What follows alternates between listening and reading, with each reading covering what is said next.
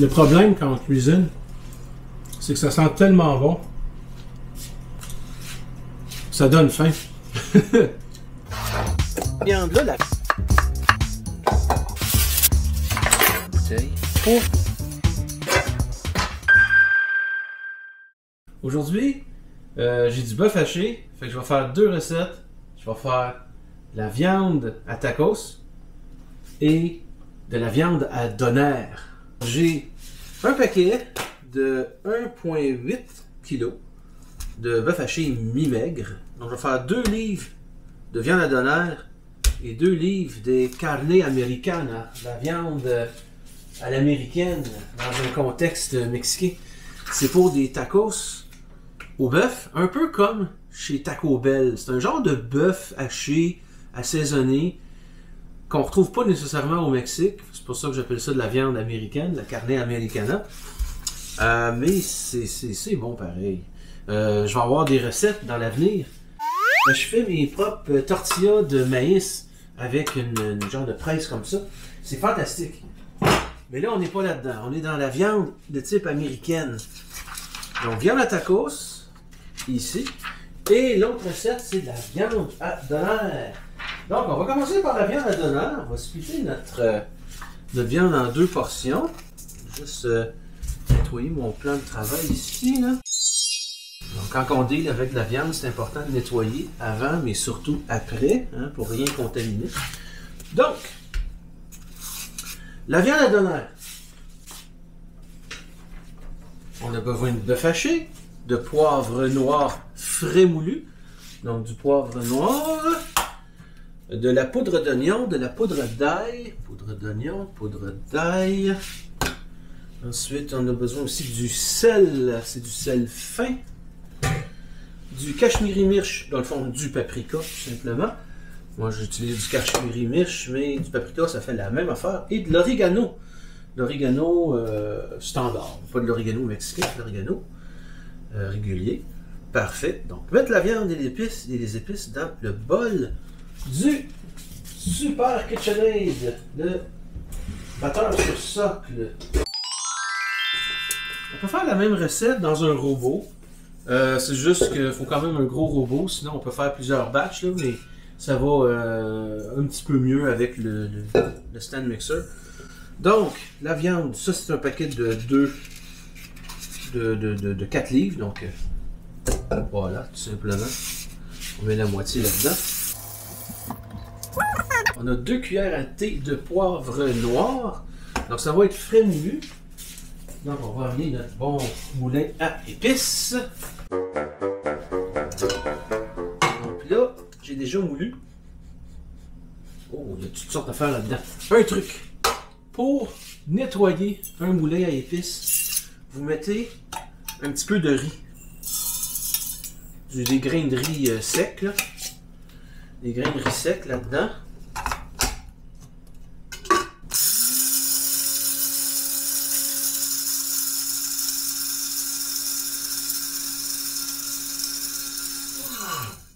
Simplement.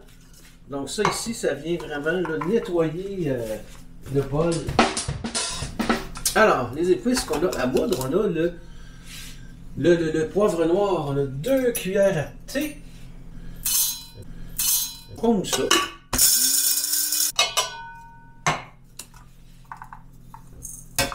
Oh, ça sent, ça sent le poivre. Deux cuillères à thé de poudre d'oignon. Poudre d'ail, cachemiri mirch ou paprika, l'oregano. Ok, les épices sont là. Où mon crayon?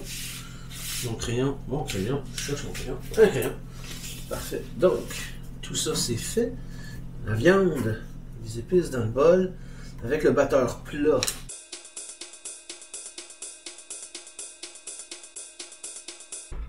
Allez hop, basse vitesse. Combien de temps il disait? 5 minutes. En attendant, on a la sauce à doner.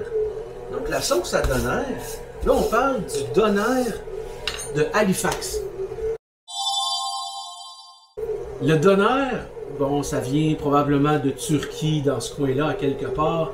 Il y a le Berliner Doner, le Doner de Berlin, qui a évolué de son propre côté. À Halifax, il y a un immigrant, je crois que c'était un grec, euh, il arrive et lui, il se rend compte que les gens n'aiment pas trop la viande d'agneau. Fait qu'il a adapté sa recette, puis il y avait des, des épices qui étaient difficiles à trouver. Donc, le donneur de Halifax, il n'est pas à base d'agneau, comme le gyro en, Grèce. Il est à base de bœuf. Puis les épices, c'est les épices qu'on a vues ici. Là. C'est pas les mêmes épices que dans un gyro. Ça se ressemble pas mal. Euh, donc, ça, c'est devenu très populaire dans la région d'Halifax. Même que le doner, c'est un pain pita avec cette viande-là, de des tomates et des oignons et la sauce à doner. C'est la nourriture officielle de la ville de Halifax. C'est quand même quelque chose. Un peu comme notre poutine, mais en Nouvelle-Écosse, c'est le doner. Fait que là, la sauce à doner, elle a un petit goût aillé, mais plutôt sucré. Il y a deux façons de la faire. C'est soit avec du lait condensé ou avec du lait évaporé. Avec du lait condensé, elle est très épaisse. Avec du lait condensé, c'est un peu moins épais. Ça peut couler un peu, mais quand on la réfrigère puis qu'on on l'utilise froide, il n'y a pas de problème. Donc, moi, c'est comme ça que je vais la faire aujourd'hui avec du lait évaporé, pas du lait condensé. Donc, on a besoin de canne d'à peu près 300 ml de lait condensé, euh, une demi-tasse de sucre, une demi-tasse, c'est à peu près ça. On va l'utiliser au complet. Ensuite de ça, une cuillère à thé d'ail en poudre. C'est pas beaucoup. On pourrait peut-être même en mettre un petit peu plus. Et une quart de tasse de vinaigre. Du simple vinaigre blanc, tout simplement. Donc, on vient mélanger ça dans un grand bol.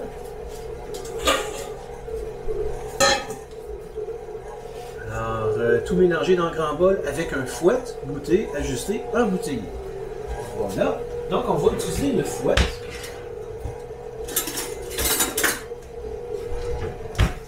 Excellent.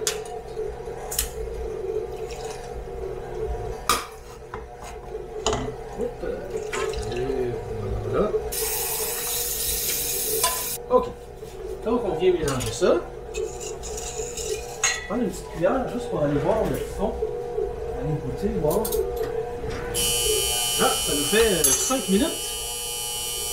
Prendre une pause de cette recette-là. Donc, ça fait 5 minutes. Bon, on a pas mal la texture voulue. C'est parfait, ça. Fait qu'on va arrêter. Oula. Genre de. Un genre de texture là. Je sais pas comment le dire, là. On va partir notre four, hein? Bake à 300. C'est pas une très haute température. Bake 300 degrés. Voilà. Un peu comme quand on fait un reverse sear sur un steak. Ça va cuire longtemps, mais pas, euh, pas, à, haute, euh, à haute température. Donc là, petit papier d'aluminium. On va sauver du nettoyage.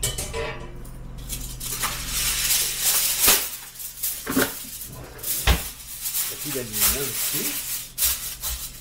Voilà. On a notre grille. Ce qu'on fait, c'est qu'on vient transférer ça ici. On va faire un genre de pain.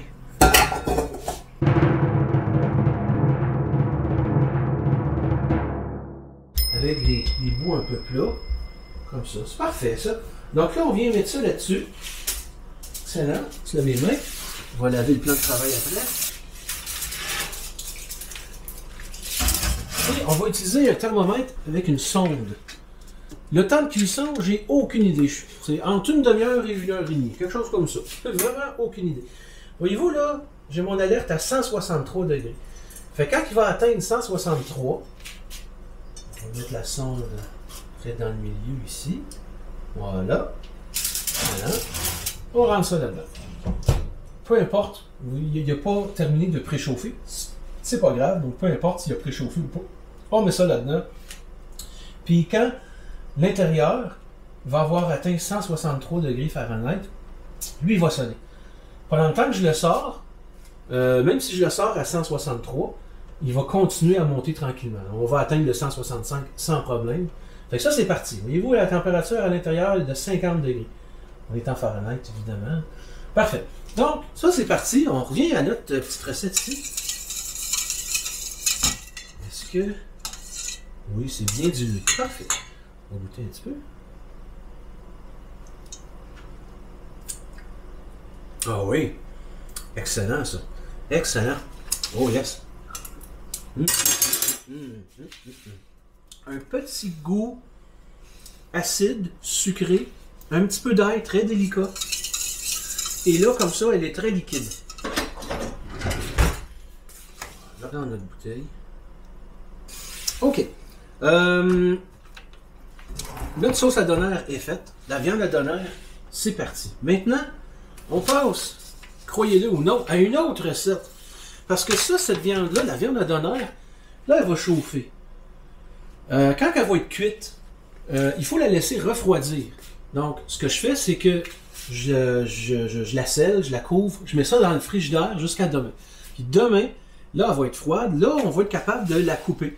Donc, je vais pouvoir couper le bout, la mettre debout, couper ça, faire des portions, puis on va avoir de la belle viande à donneur pour plusieurs euh, recettes par après. Là, maintenant, on va, on va commencer à faire la viande à tacos.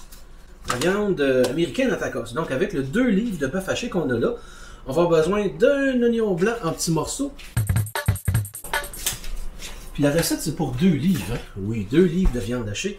Un oignon, 4 gousses d'ail. Ail.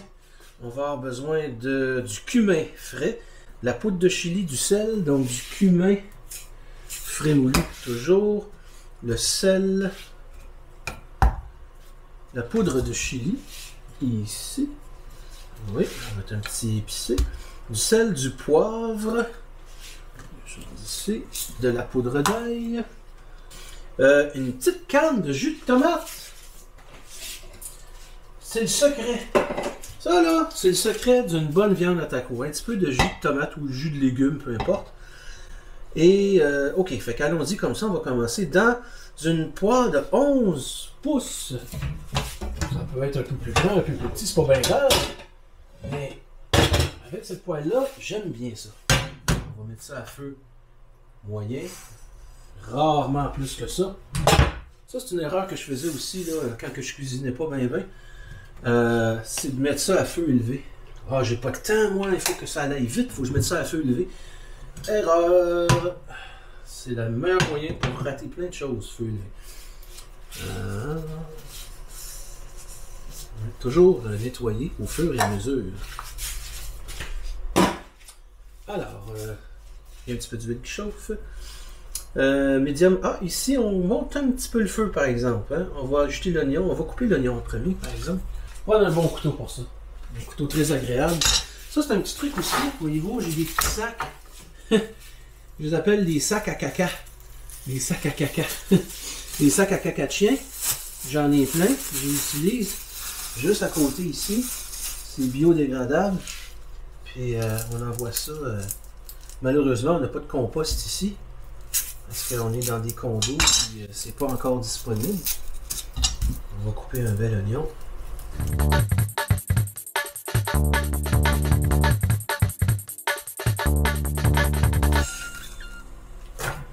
Une moitié d'oignon, c'est un oignon au complet.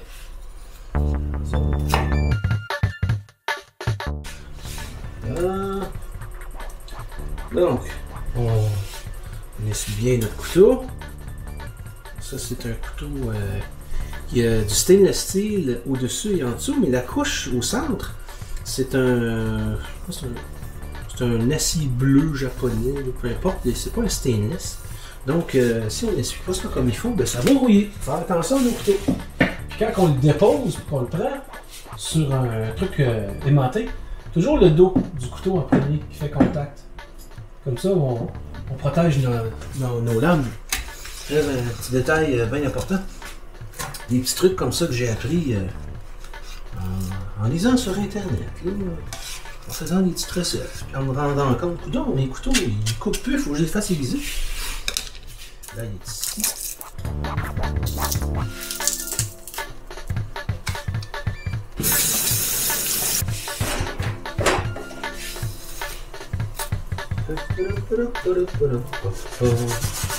On va attendre un petit peu que les oignons tombent.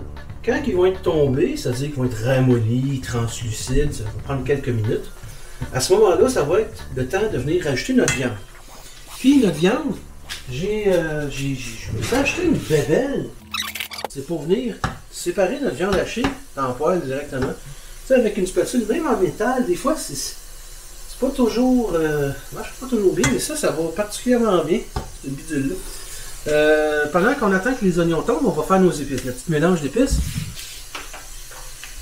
Alors, on a dit 4 cuillères à de cumin, 4 cuillères à de cumin. Pas du cumin noir, du cumin normal. Gira en indien. 1, 2, 3 et 4. Parfait. Poivre, on a besoin de le moudre. 2 cuillères à thé. Fois. Deux fois. Parfait. Ça, c'est les épices qu'on va moudre.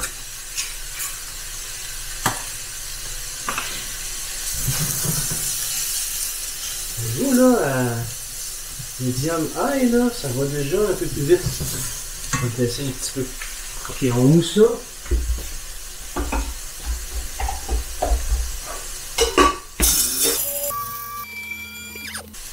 Excellent. Voilà. Parfait, ça. Donc, on va utiliser ça tout simplement. Ben, on n'utilisera même pas le tireur, on va tout mettre là-dedans. Donc ça, c'est moulu.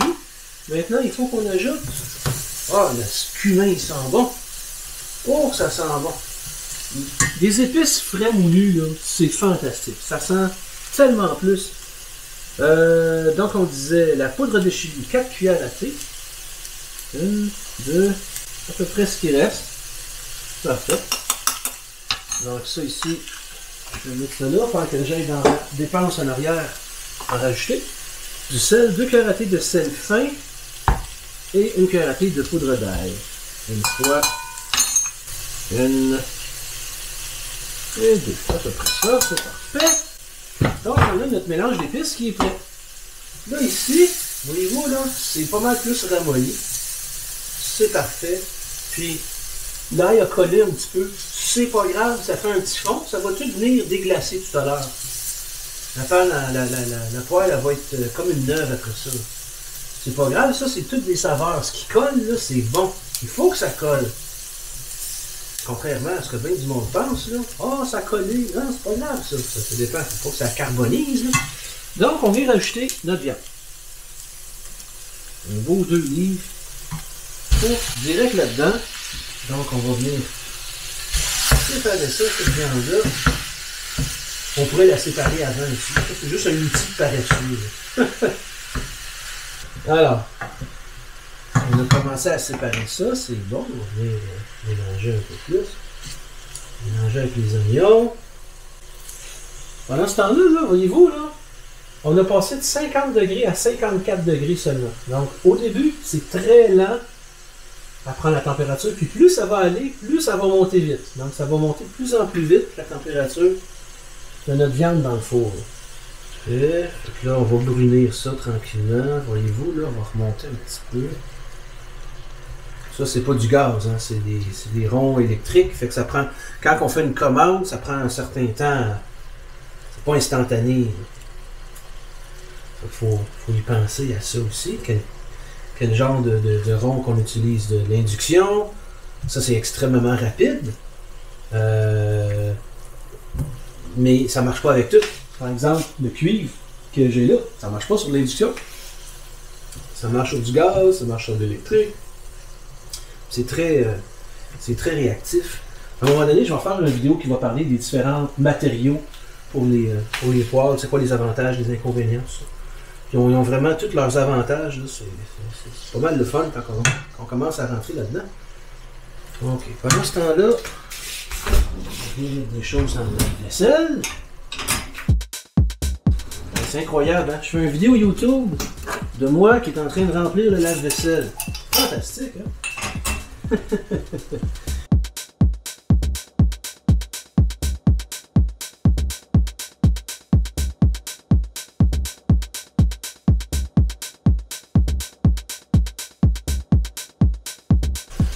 Voyez-vous, là?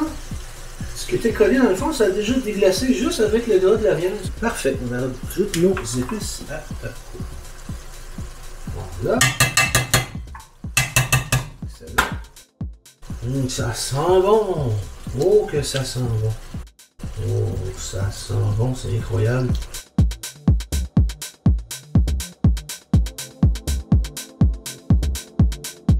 rajouter notre jus de tomate. Là, c'est si, s'il y avait rien, des choses qui n'avaient pas encore déglacé, là, c'est clair, ça va déglacer avec ça. On est bon.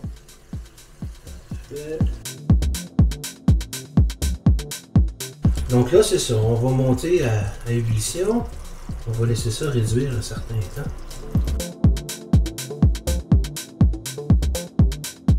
On va laisser ça aller doucement.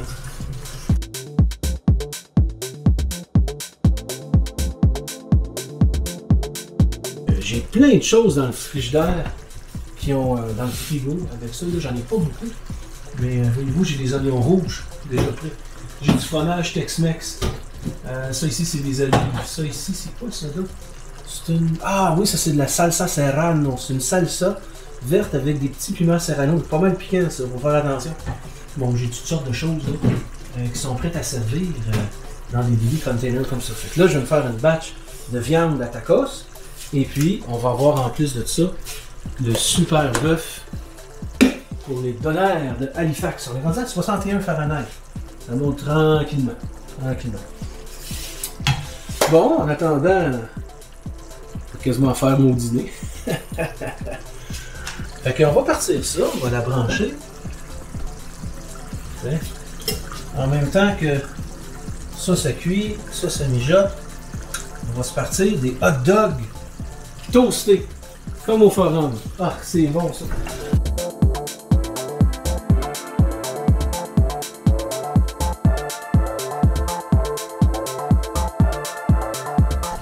Le laisser encore un peu plus.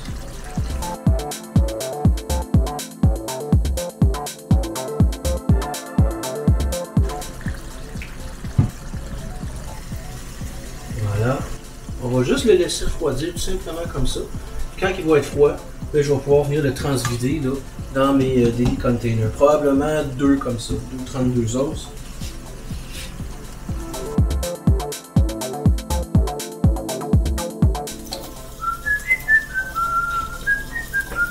79! Tranquillement, tranquillement. J'a- J'adore ce four-là, je l'ai tellement utilisé depuis le début de la pandémie. Le bouton de la lumière, il est usé.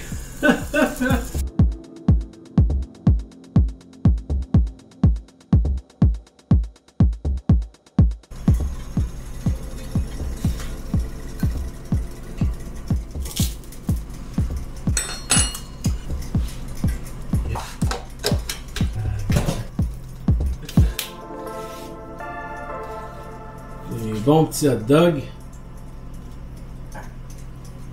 Avec un pain euh, bien toasté, bien grillé. C'est bon? Oh.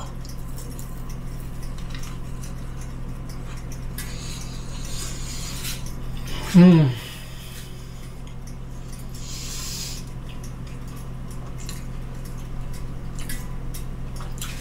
C'est bon ça. Vraiment là?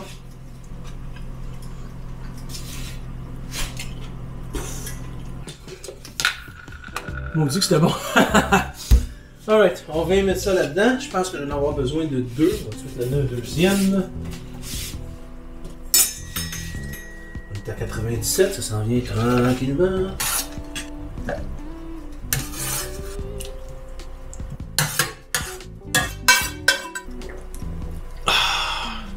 Euh, fait que j'ai euh, j'ai mes deux beaux plats de viande à taco euh, qui sont en train de refroidir. Quand ça va être frais, je vais venir mettre ça dans le frigidaire.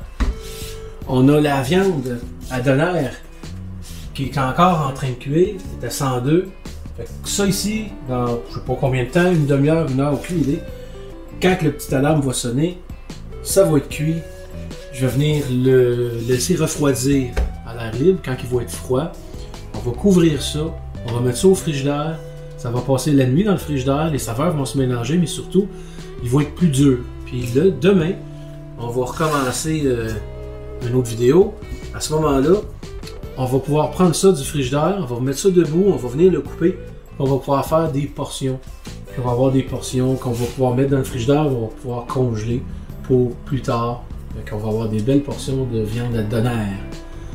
Fait que sur ce, merci d'être là encore. Euh, et puis, euh, passer du bon temps malgré tout en pandémie.